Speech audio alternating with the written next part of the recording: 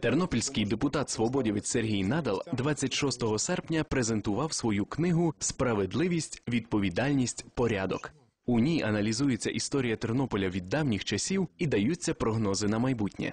Науковці та діячі культури зібралися у Тернопільській спілці письменників, аби висловити свою думку про видання. Прибув на презентацію і лідер всеукраїнського об'єднання Свобода Олег Тягнебок. Дуже приємно, що мій побратим, людина, з якою я вже тривалий час іду пліч-опліч, Сергій Надал, сьогодні презентує свою книжку. Тут все є дуже просто і дуже легко. Її можна переглянути і прочитати, ликнути буквально за кілька годин. І сміливо, направду сміливо, що Сергій подав майбутнє. Це говорить тільки про одне: що то, що робить Сергій Надал, він робить з вірою. Він вірить в те, що він робить. Тут немає жодного слова фальші. І мене це надзвичайно тішить. Ця книжка пронизана також і українським великим національним патріотизмом.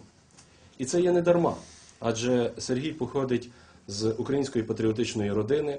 Е, Дідусь Сергія був одним з е, засновників Тернопільського руху. У книзі Сергій Надал пропонує способи вирішення наболілих проблем і забезпечення процвітання рідного міста. Це перше таке видання про Тернопіль. Критики уже називають твір зразком публіцистики і прогнозують успіх у читачів. Мета була просто розпочати розмову і діалог з інтелігенцією, з творчими людьми, з владою, з, просто з громадянами міста Тернополя на рахунок того, як вони бачать минуле Тернополя, його сьогодення і перспективи розвитку нашого рідного міста на майбутнє.